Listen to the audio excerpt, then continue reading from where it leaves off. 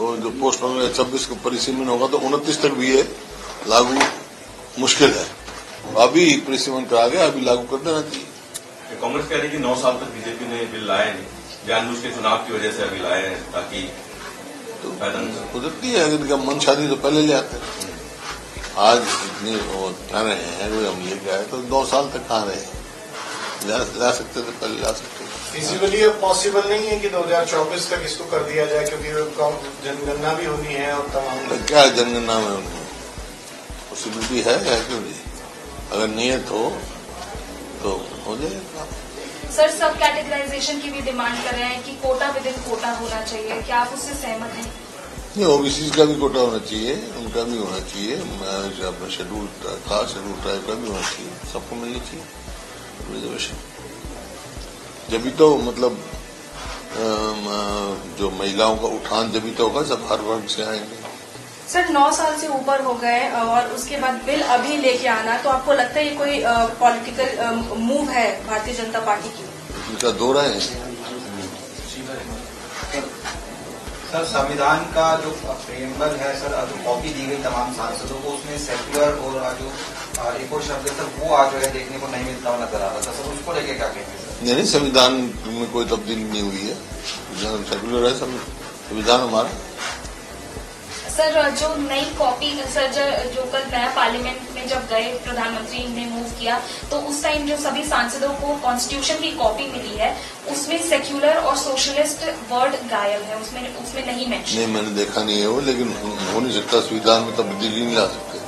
संविधान सभा ने जो संविधान बनाया है वो तो बगैर कॉन्स्टिट्यूशनल अमेंडमेंट के कोई तब्दीली नहीं आ सकती। जी हरियाणा का सवाल अभय सिंह चौटाला लगातार ये कोशिश कर रहे हैं कि जो कांग्रेस के नेता हैं उनको आमंत्रित किया जाए जो देवीलाल जी की जयंती मना रहे हैं। और इंडिया में गठबंधन की बात चल रही है तो उसका क्या कोई असर पड़ेगा आने वाले चुनाव में? लगातार अभय चौटाला जी कांग्रेस के नेताओं से संपर्क में तक मैं कह चुका हूँ हरियाणा का सवाल है हरियाणा में कांग्रेस खुद में सक्षम है। सर एक जनसंवाद से जुड़ा सवाल है। कुछ मंत्रियों के जनसंवाद में भी विवाद देखने को मिला, विपक्ष आपके समक्ष आप भी करते हैं आरोपी हैं, हरियाणा में। तो किस तरह के इश्यूज़ इस तरह एड्रेस होने चाहिए जनसंवाद में जो बातचीत आए, वो विवाद की तरफ़ ना जाकर सोल्यूशन की तरफ़ जाए? लोगों की समस्या सुननी चाहिए। जो समस्या हो उसका समाधान निकालना चाहिए। विचार करो, विमर्श करो, उसके बाद समाधान निकालो।